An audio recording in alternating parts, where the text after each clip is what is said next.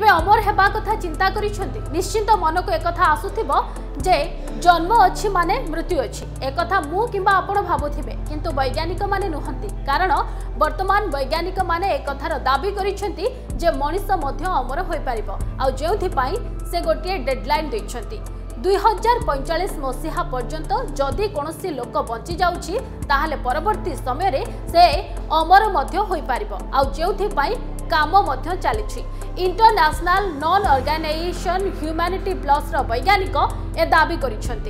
যদিও সে এনে কোণী স্পষ্ট সূচনা দিয়ে না কিন্তু একথা কিন্তু রোবোটিক্স এবং এআই দ্বারা এ সম্ভব হয়ে পারিব ତେବେ ସେମାନେ ଏକ ବୁଢ଼ା ମୂଷାକୁ ନେଇକି ମଧ୍ୟ ରିସର୍ଚ୍ଚ କରିଛନ୍ତି ଯେଉଁ ମୂଷାର ବୟସ ମଧ୍ୟ ଫେରି ପାଇଛି ଏବଂ ସେ ସମୟରେ ଏ କଥାକୁ ମଧ୍ୟ ସେ ସ୍ୱୀକାର କରିଛନ୍ତି ପୂର୍ବରୁ ମଣିଷର ବୟସ ଖୁବ୍ କମ୍ ଥିଲା ଏବଂ ଧୀରେ ଧୀରେ ବର୍ତ୍ତମାନ ତାହା ବଢ଼ିବାରେ ଲାଗିଛି ଆଉ ଆଗକୁ ମଧ୍ୟ ମଣିଷ ଅମର ହୋଇପାରିବ